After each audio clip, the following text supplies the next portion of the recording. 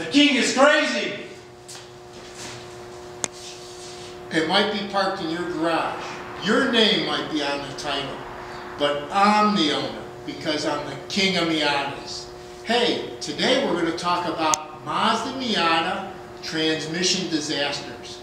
First we're going to start out with the 5-speed and a common problem of a 5-speed manual transmission being stuck in reverse. And when I mean stuck in reverse, what I actually mean is that you're pulling out of your parking lot or your parking space or the Circle K, you had it in reverse, you go to put it in first, and when you put it in first and you let out the clutch, the car dies.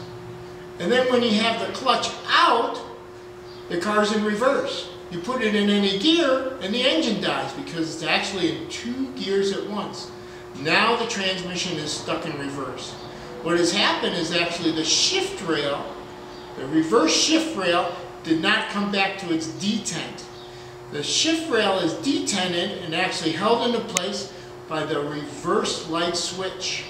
The reverse light switch is located on the transmission. It's actually on the driver's side. Here's the five-speed transmission right here. And here's the reverse switch. This is the old style reverse switch. You can see it. It's kind of got a, like a white putty, white putty, kind of a celastic on it, and red wires. So if you have this switch in your Miata, you need to replace the switch. The new updated switch is actually has a black plastic cap and green wires.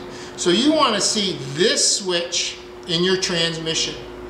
Now when the transmission is actually stuck in reverse, many people have taken their cars, and this is the, the, the disaster part.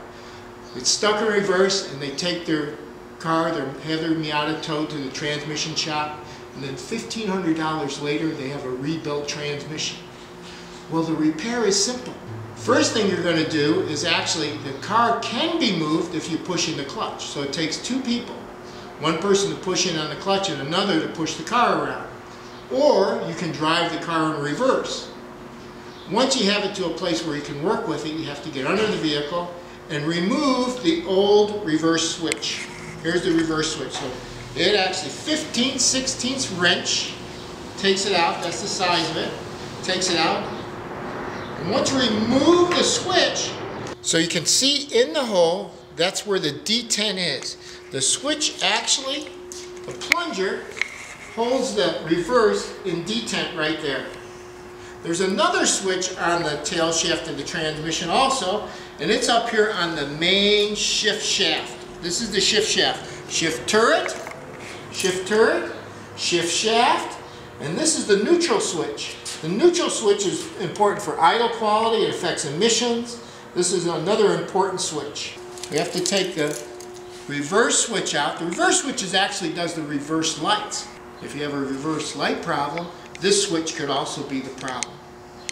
Now, to show you the detent and what you're going to do, I'm going to actually remove the tail shaft here so we can see inside the transmission so you can see the detent and what you have to do to repair it. And here's that detent. Here's where that switch is actually going to ride. Right here. Right here. So when it's in reverse, this detent is forward. Like so. But what happens is it's stuck here. The shifter is actually stuck. So it's actually in reverse and the shifter is up in here and we can't shift back down because it's actually slipped past it. So to fix it, what we're going to do, I'll show you, I'll put the tail shaft back on. Once you remove the switch, here, now we can look at the detent, you can see the detent. So what I'm going to do is I'm going to use a shorty Phillips screwdriver. You're going to reach under the transmission, shorty Phillips, and you're going to get in there and click that detent back into place. Now you're back in neutral.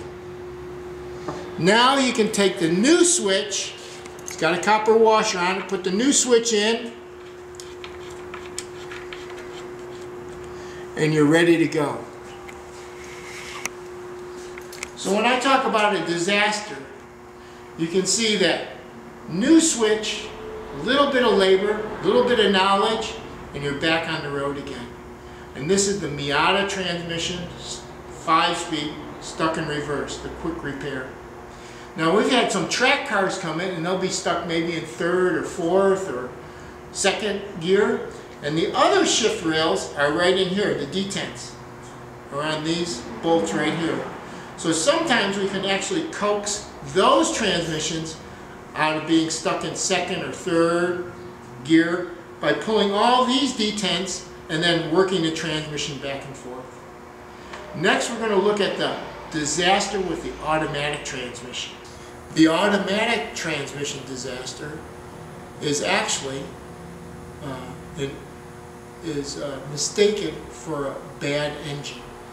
What happens is your engine starts, an automatic Mazda Miata, and the engine starts smoking like the dickens when you take off from a stop sign or when you're coming to a stop. There's big puff of smoke.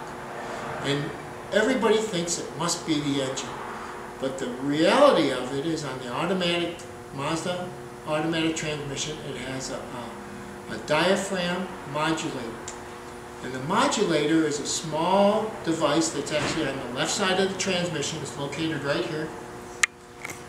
And this, this device, this is it, this device uses, and it has a piston in it, a little rod, and this device uses the engine manifold vacuum to assist to tell the transmission when to downshift.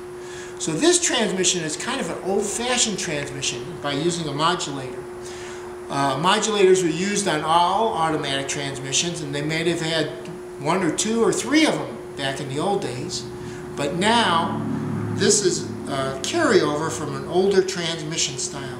The new electronic transmissions do all the shifting by the computer. So there really hasn't been a problem and there's not much knowledge about the modulator. The modulator has a diaphragm. When the diaphragm goes bad, you actually start sucking automatic transmission fluid. And it comes through this vacuum line all the way to the intake manifold. And after we get done talking here, we'll show you where that port is on the intake manifold. So to test and see if it's the modulator, you're just going to disconnect that vacuum line and then drive the car and see if the smoke stops. Like I say, this trans this transmission problem, the automatic transmission problem, has created a disaster because people overhaul their engines or replace their engine, and when they're done with that, they still have smoke in the engine from the modulator. There's two different modulators.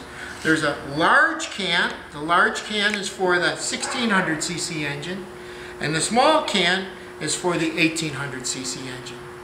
Next, we'll take a look at the under the hood of a car and see where that port is on the intake manifold. Most of the standard shift cars have a rubber plug on a blind plug. Now I'm going to show you where that port is, the hose to disconnect, to double check if you have a smoking automatic Mazda Miata, to disconnect this line, plug the port so you don't have a big vacuum leak, and then drive the car again for a couple miles, see if the smoke goes away. And if you watch my pointer, here's where that vacuum port right is, right down in here, right there. You can see it right there. And it has a rubber cap on it. Right there. And here's the rubber cap.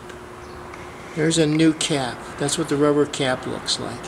And we sell the caps, you know, if you need a new rubber cap at our on our eBay store also. Also, we sell the modulators and anything you might need. The reverse switches, Hey, thanks for watching this video, and I hope that prevented some transmission disasters with your Mazda Miata. And visit our eBay store, Miata Mecca, for any of your parts needs. And thank you a lot, and we'll see you the next time around.